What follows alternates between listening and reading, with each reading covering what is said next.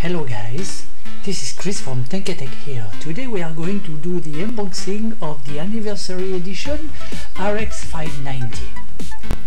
I got this as an upgrade as the RX 580 that I ordered was out of stock with no extra charge. So let's go into it and uh, do the unpacking. This is exactly the same specification as the RX 580 uh, the only difference will be the shroud which is in the golden color sorry. And uh, this one was supposed to come with three games that I didn't get because it was too late. Although I although I got the coupon code but uh, well too bad for me. I cannot expect for too much isn't it so if you want to know a little bit more about it you can pause as I uh, hover over the uh, specification written on the box.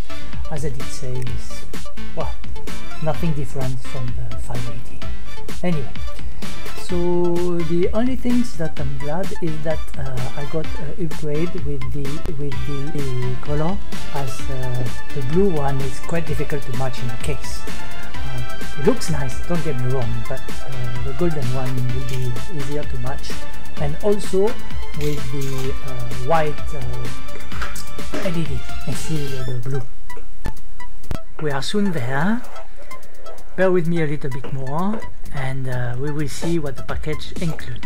Although I would prefer them to include the game you know physically in the CD as it was before but anyway.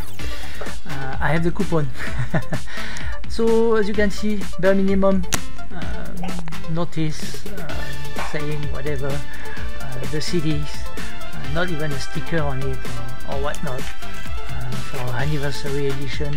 Oh well. Anyway uh, the manual now pretty uh, bare also. Um, I mean I'm not going to go through but the, you, you know what to do with a car mostly if you buy one. Um, then uh, as you can see here the golden one it looks a little bit plasticky to me alright uh, well uh, you can see well you can see the two heat pipes here uh, the sapphire logo that uh, light up white the fan will light up white as well. Oh those fine by the way are the uh, quick uh, release fan just uh, those are the two other pipes which is four altogether. The back plate although uh, it's aluminum. Right so at least it helps for the cooling. You have the BIOS switch switch which uh, by default is set to silent and uh, if you turn it on then uh, you have the, the boost. Right. so now with the ports you get uh, two display port 1.4 and uh, two HDMI 2.0 alright as well as the, the DVI dual link